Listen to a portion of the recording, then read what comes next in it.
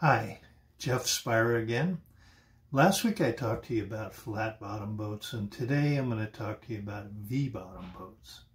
Uh, there's a few of them that I've designed. I, I, des I designed and uh, uh, have kind of, I don't know, a little bit more specialized use of uh, V-bottom boats. Um, the main advantage, of course, over flat bottom boats is improved dynamic stability. That means when you're running in the boat, um, if the water changes, uh, you know, waves that you're going over, chop or whatever uh, that you're going over changes quickly, the boat tends to be uh, more stable as the change occurs. So you don't get any as much jarring motion as much as you do smoother motion because the the boat drafts more. It's uh, it's deeper under the water, so um, so to move it up and down an inch um, takes less force. Flat bottom boat doesn't draft as much, so to move it up a little bit, uh, it, it, displaces more, so it, it moves quicker. So uh, V-bottom boat doesn't move as quickly that way. You all know what a V-bottom boat is. You see them all the time, and it's pretty standard. And um, if you were out to go buy a, uh, let's say, a, you know, a, a offshore fisherman type boat, it would, it would, chances are pretty good it would be a V-bottom boat. So, V-bottom boats in general are, uh, the ones I design anyway, are, are classified in really three ways and one of them is kind of split the difference between the other two. Um, the first one uh, is are what's called displacement hulls.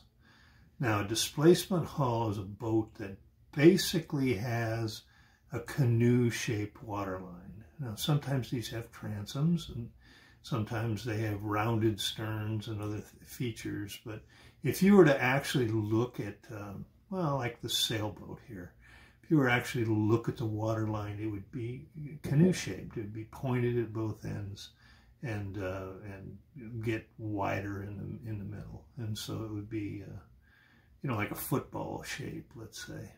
Um, now, planing, I'm sorry, uh, displacement hulls are characterized by what's called a hull speed. And a hull speed is strictly the function of the length of the boat. So if you were to have a boat that's longer um, and the same width, it would go faster uh, under under planing conditions than a than a shorter, fatter boat. Um, seems funny, but you know, back in the old days, they used to make when when all they had were displacement hulls.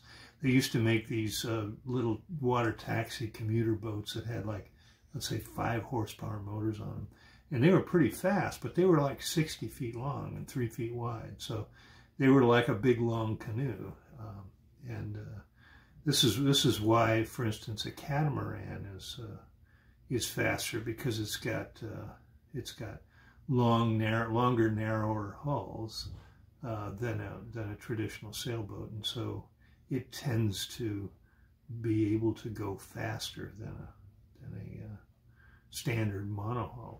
So now for a 20 foot, 24 foot boat, the planing, the hull speed, if, if you run the calculation, it's right on Wikipedia. You can you can look it up, hull speed, and download it and, and use it to calculate the speeds of various boats. Um, means that, anyway, in a 24 foot boat, for instance, it's not very much. It's only uh, uh, five and a half knots, something like that, six knots. Um, so that's not very fast.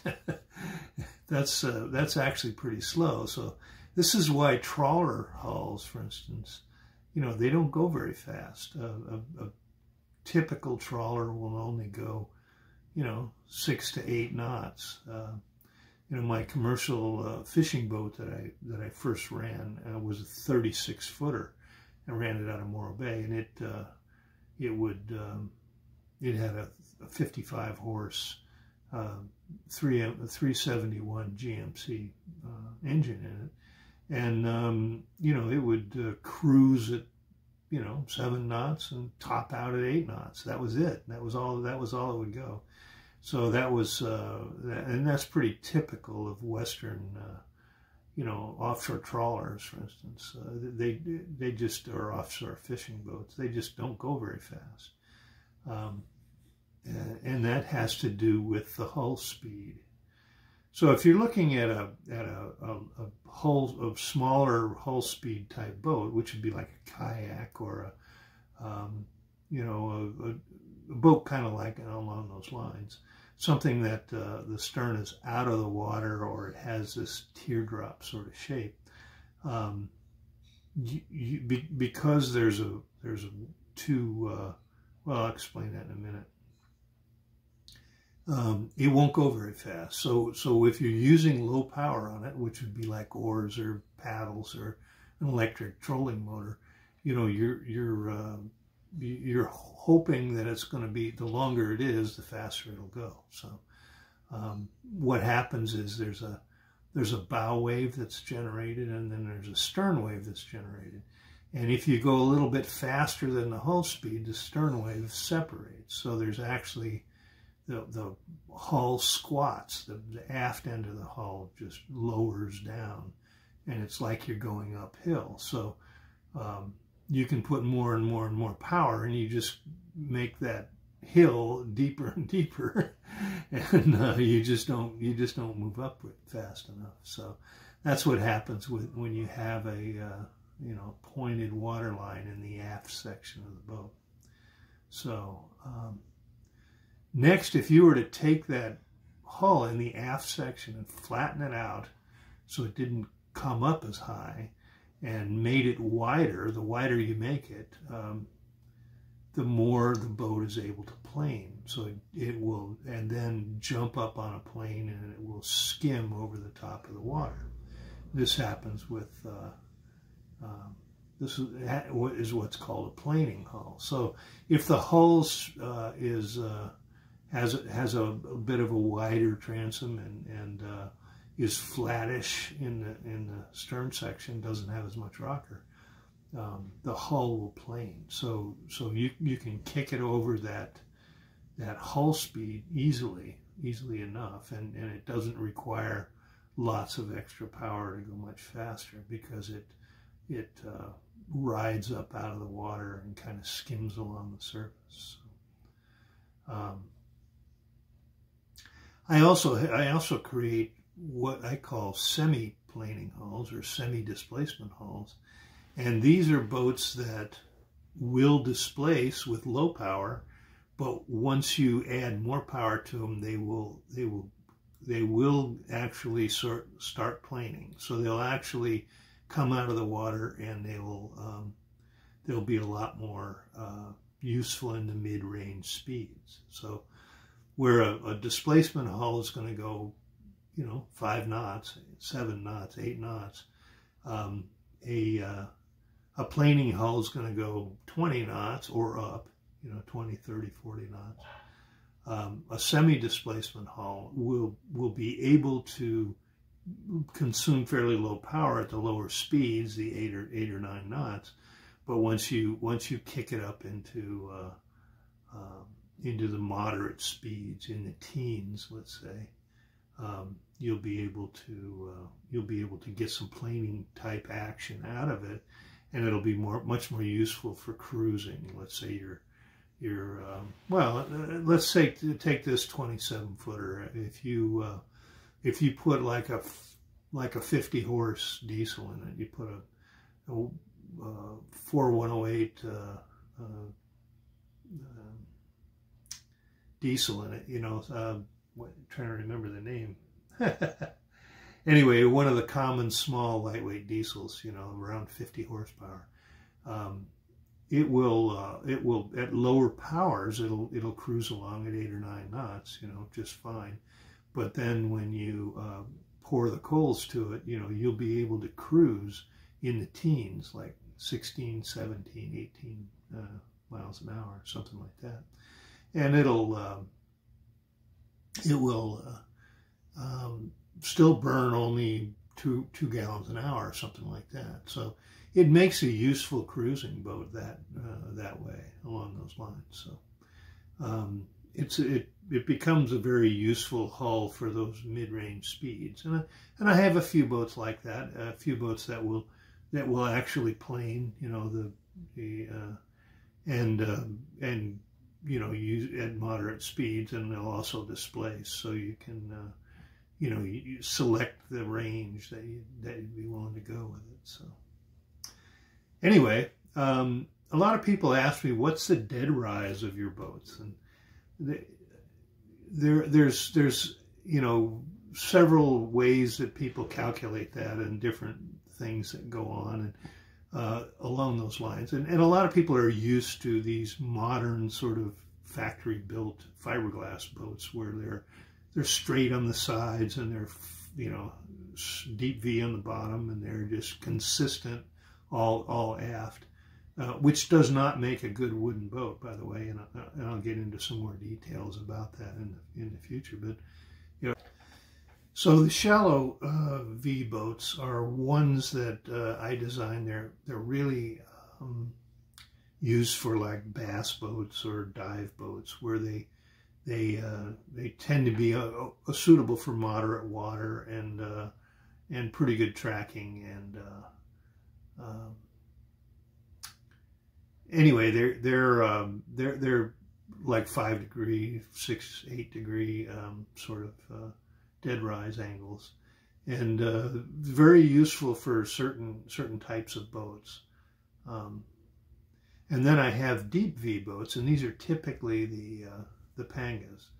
Uh, the Pangas are all deep V boats, and that those have a, a deeper V, and they tend to be very good running at higher speeds out in choppy or, or ocean water. Um, and they, they tend to they tend to have a lot of uh, reserve stability, a lot of uh, at moving when they're moving. When they're stopped, they're not they're not nearly as uh, as you know statically stable, but but dynamically they, they will work pretty well. But most of my boats are, are what I would call variable V, and they're, uh, the dead rise changes throughout the hull section. So they start out at a fairly steep dead rise. They're, they're up in the bow. They're, they're, the dead rise is, is like a deep V, and then but back in the stern, it's like a it's like a shallow V, or, or some of them even flat. And I'll get I'll get into those too uh, when I start talking about the specific designs I have. But a variable V works to me the best because you can make it plane and you can make it uh, uh, displace and you can make it uh, semi-displace or semi-plane.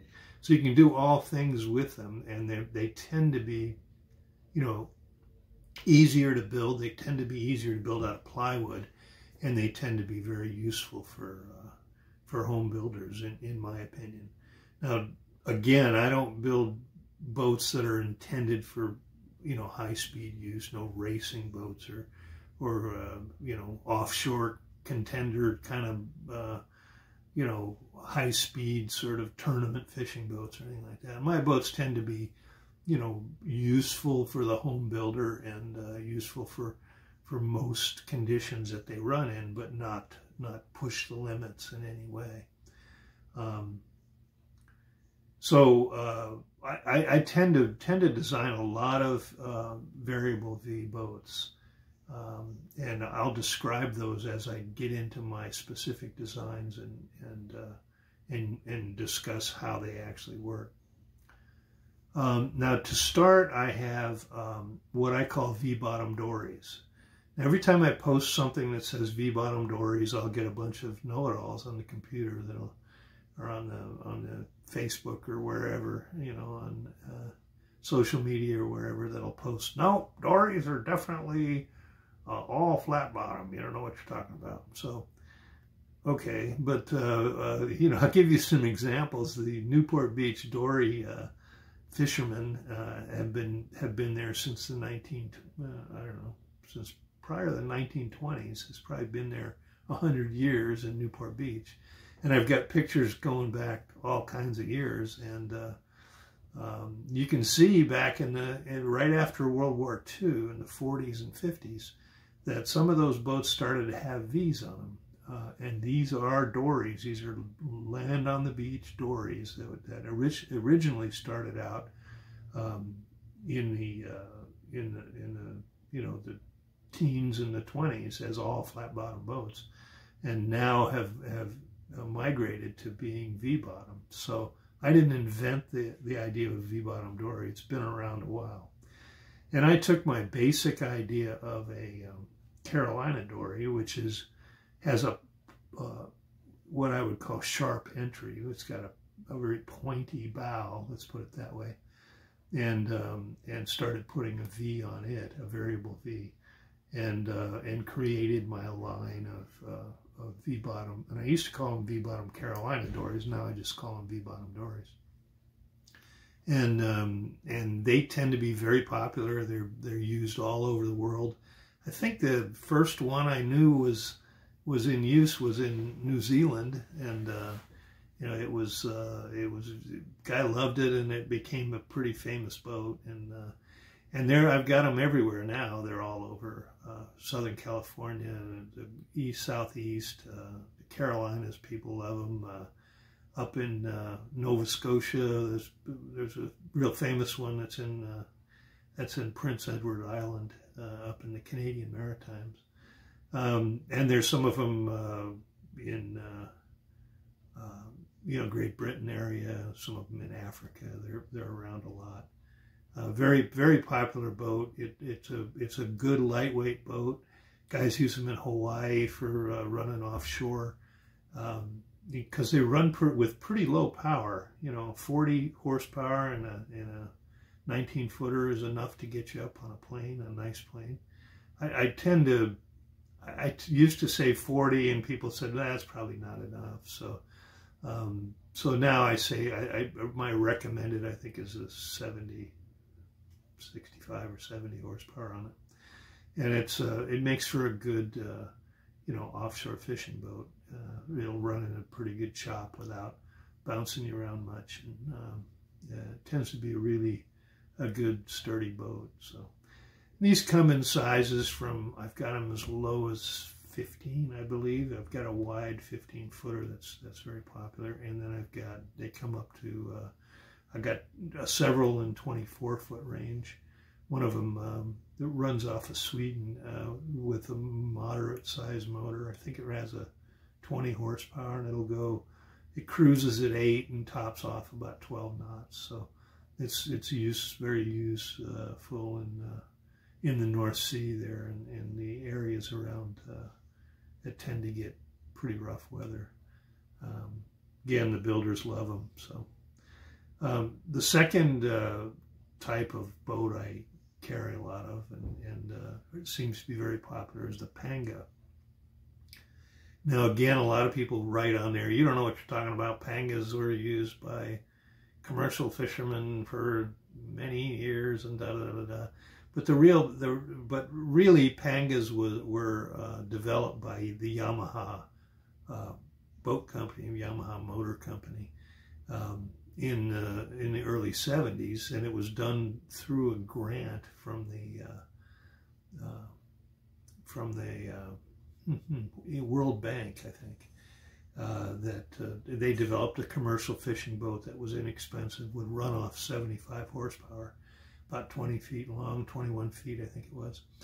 And uh, it was kind of based on this earlier wooden design that was kind of popular um, in the Sea of Cortez down in Mexico.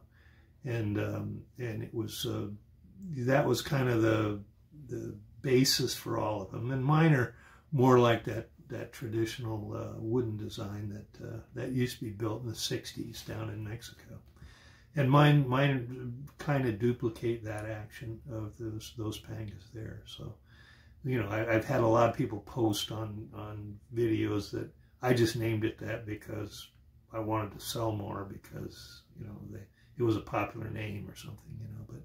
But but that's kind of silly. I did I did actually design it around the around the the Yamaha version of the Panga and in in the wood form format and uh, so they look a lot like the older wooden ones. So, And these are a deep V hull, um, and they'll run. They, they take more power than a than a, a uh, variable V um, V bottom uh, dory.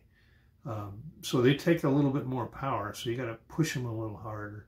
Uh, but they do tend to be good, um, faster offshore boats, and they'll take a lot of pounding. Very popular in Southern California. Guys run out to the the tuna grounds, uh, you know, 60, 80 miles offshore with them. Um, and they, um, you know, they're popular in a lot of places where guys want to run, you know, offshore with them. And uh, good boat, good solid boat, um, good and sturdy, and uh, and useful offshore. I, I, it's not one that I would use a lot unless you're in the Great Lakes or somewhere where it uh, where you get big water. It's not really something I'd uh, I'd recommend for river or lake travel in most cases. But um, but but for the open bays and uh, where you've got deeper water, uh, it's much better. You know the the water in, in the Gulf, uh, Gulf of Mexico, or or the you know eastern um, East Coast uh, uh, bays tends to be shallower, so it's it's not somewhere where you'd want to use a deep V boat because they they they they draft more. I mean, it wouldn't be very useful around Port Aransas, Texas, for instance, because, you know, you've got six inches of water in a lot of places that you want to go and fish. So, um, but but if you're going to stick uh, offshore, like in California, you know, I consider 60 feet to be. I mean, that's that's inside the, the L.A. harbor. You know, it's 60 feet deep, and then it gets deeper from there. So I mean, go to go into Catalina, it's 2,300 fathoms. So what is that? It's over, you know, 6,000 feet, something like that. Um, and it's got major shipping lanes going through there. So anyway, uh, pangas are, are uh, you know, a good choice. Uh, and uh, and I've got them, like I said, from, uh, I've got some 12 footers, uh, which is pretty small for a panga, but up to, up to, I think 26, 26 is the latest. So and there's been one of those built, and it's it's a good, very good looking boat. Um, the real popular ones are 21 and 23 feet, are the are the uh, the real popular ones for most most uh, you know fishing for you know individuals and and guys with families and things like that that want to use them. So.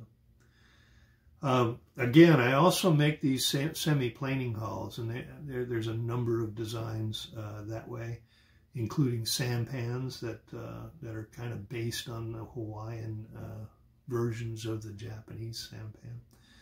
And uh, actually, a sampan, believe it or not, that was a Hawaiian sampan, and, and from the old Gilligan's Island. So that's that's one uh, one common uh, example of them.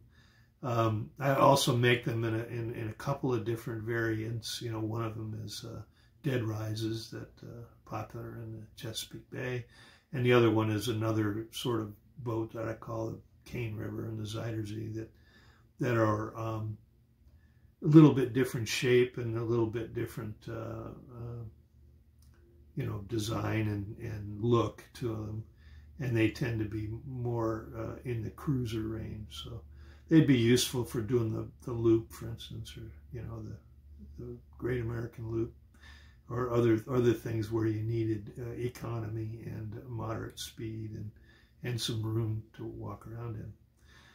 Um, anyway, uh, semi-displacement hulls, I've got, I've got, quite a few of them, and they're like I said, very very useful, very good for uh, for cruising. So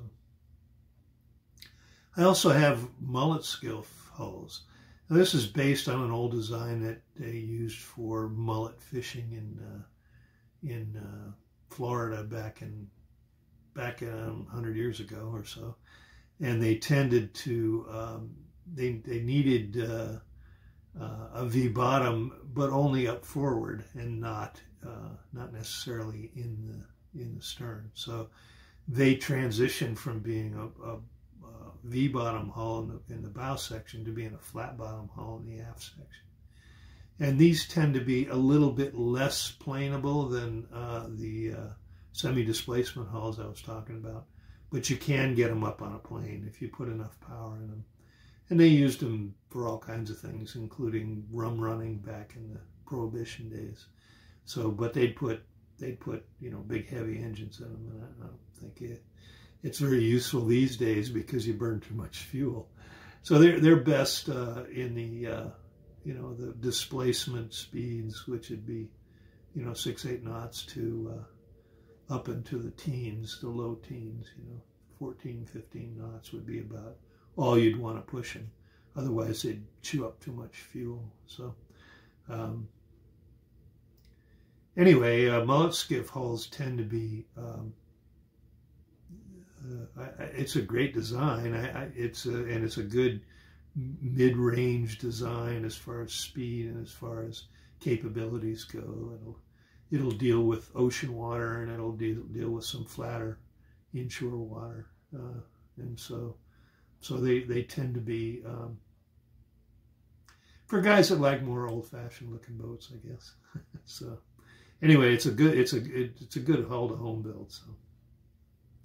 I also have a series of shallow V boats, and these these kind of include, you know, bass and and, and what I call dive boats, uh, where they're uh, um, pretty stable, going slow, and then they'll, they'll, be able to get up and go pretty fast when you power them up enough. Um, so again, uh, when you're choosing uh, one of one of the hulls to build, uh, think in terms of um, choosing the water that you're going to be in. What what do you plan to use it for?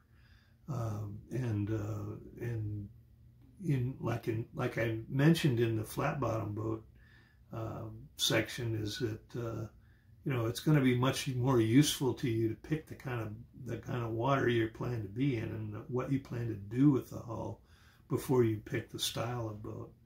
I think a lot of guys pick the style because it looks good or they they, that's what they've always wanted is something that looked like that. But but really, what you should what you should do is spend some time thinking about how you're going to use the boat, how much fuel you plan to burn. Um, you know, I, I, I notice boats that, uh, for instance, here in Southern California, if you a lot of people go to Catalina. Catalina is 26 miles, and um, you know I see a lot of these deep V hulls that. Uh, you know, they got two 454 Chevys in there and, and, you know, blowers on them and everything else. And they're, you know, they're putting out a lot of horsepower and they, they throw the throttle to it and they get out to Catalina and, and, uh, you know, they're there in 45 minutes. Great. And then they turn around and run home and, you know, they only burned, uh, I don't know, what, 60 gallons an hour. So you spend a couple hours running around the island and, you know, you've gone through a thousand dollars worth of fuel. You know, fuel's five bucks a gallon here for uh, marine fuel. So uh, you know, and, and with a with a uh, um, you know twenty foot uh, dis- semi displacement V. I mean, I'm sorry, a, uh, uh, semi planing type hull. You know, you, you and a, let's say a you know 80 horsepower 60, 80 horsepower motor on it. Um, you know, you're burning you're burning five gallons an hour, so you do the same uh, the same six hours of running to Catalina and going fishing and all that. It takes you an hour and a half to get there instead of 45 minutes, and um, and you end up burning you know 120 bucks worth of fuel instead of a thousand dollars worth of fuel. So there's a, there's a big big difference, uh, you know, in what you plan to do with the boat uh, based on what kind of um, hull and what kind of power you're going to need to, to uh, work with it. But anyway, that's my story with uh, V-bottom boats, and I hope you uh, enjoyed this, and uh, and it may have brought a little bit of light to um, to some of the hulls that you're that you're thinking about. And um, uh, anyway. So next time I'm going to talk about another aspect of boat building. I'm again trying to keep these coming once a week. So uh, pay attention uh, to uh, subscribe and do all that stuff and and ring the bell um, when you after you subscribe so you're notified when the next one comes out. And I'll talk to you soon. Thanks again.